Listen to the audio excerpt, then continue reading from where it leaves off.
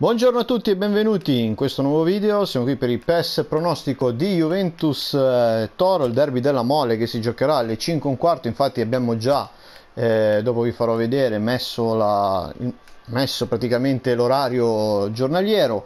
Allora, vediamo come la Juve secondo me giocherà, ricordiamo che stasera ci sarà il video del, del praticamente post eh, del, delle probabili formazioni, quindi ovviamente vi invito tutti poi stasera a collegarvi con Fuori Rosa TV per vedere quel video ovviamente come sempre eh, anche per le solite come se, anticipazioni di mercato che sono state dette in questi giorni. Allora secondo me questa più o meno è la formazione questa è la formazione con la quale siamo scesi col Genoa e credo che più o meno sarà la formazione con la quale scenderemo in campo nel derby. L'unico cambio è che giocherà secondo me eh, Buffon che batterà il record di eh, il record appunto di ehm, Paolo Maldini come presenza in Serie A. Poi penso che la formazione sia più o meno questa comunque. Allora, intanto cambiamo di divise perché la Juve non può giocare insomma il derby con la maglia, eh, la seconda maglia e iniziamo. Ovviamente aspettiamo il collegamento. Eh, Juve che si affiderà sicuramente a, ancora a, a um, Delict Bonucci perché abbiamo già poche alternative, poi parliamoci chiaro, Delic Bonucci stanno facendo un campionato sublime. Rispetto all'ultimo, PES pronostico ho eliminato la telecronaca in modo che la mia voce arrivi più pulita eh, possibile a voi che ascoltate questo video ovviamente Allianz Stadium. Eh, e niente iniziamo la partita eh, fino alla fine forza Juventus e ehm, tra l'altro col Genoa abbiamo visto una grande Juve mi aspetto una grande Juve anche nel derby anche se il caldo ovviamente farà la sua parte. Tra l'altro sarà un, un, eh, un, periodo molto, molto intenso ancora perché la Juve avrà tre partite una più difficile dell'altra e attenzione Bernardeschi gran parata di Sirigu gran parata di Sirigu.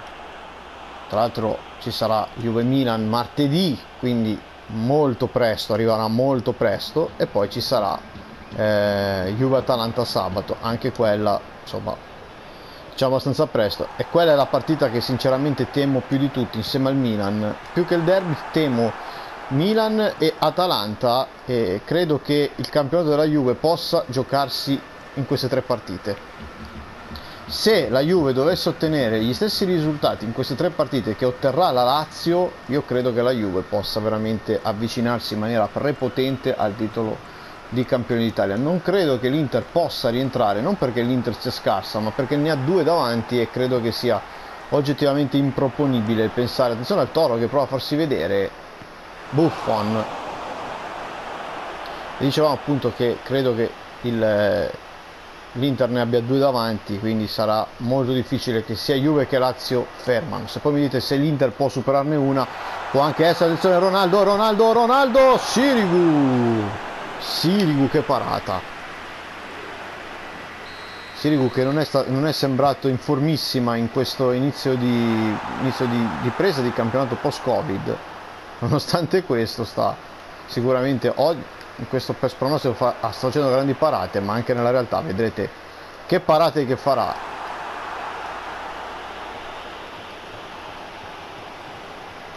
Se no il toro rischia Bentancur va a pressare. E il toro ne esce molto bene però. Ne esce molto bene il toro qua perché la palla poteva la pressione di Bentancur poteva oggettivamente creare molti problemi. Qua Bernardeschi tutto regolare non è fallo su Bernardeschi. Bremer. Olaina. Toro che a me è sembrato oggettivamente un minimo un minimo è eh, in difficoltà contro la Lazio eh, fisica e psicologica. Sicuramente troveranno stimoli post cioè stimoli, derby, stimoli da derby sicuramente. Ronaldo tira giù Ronaldo va sulla fascia Ronaldo resiste Ronaldo gran giocata in mezzo è anticipato di un pelo Rabiot la palla rimane lì e il Toro riesce in qualche modo a buttarla fuori finisce il primo tempo 0-0 tra Juve e Toro partita che non si sblocca.